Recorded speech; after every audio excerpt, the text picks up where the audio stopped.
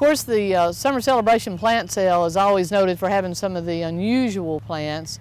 Um, one of the things we're going to concentrate on this year is going to be the plants for the butterflies.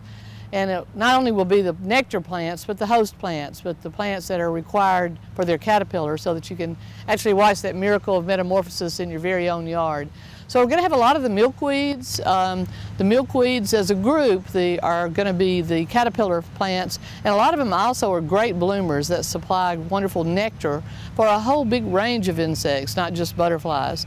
But then the bonus is you get those colorful caterpillars, those monarch caterpillars. And everybody's on the monarch bandwagon these days. You know, the monarch population has plummeted, so we're hoping that everybody gets involved in planting these plants for the caterpillars.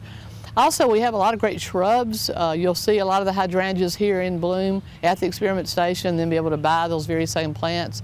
So we hope that you'll come and, and take home some really terrific plants that we know do well here in West Tennessee.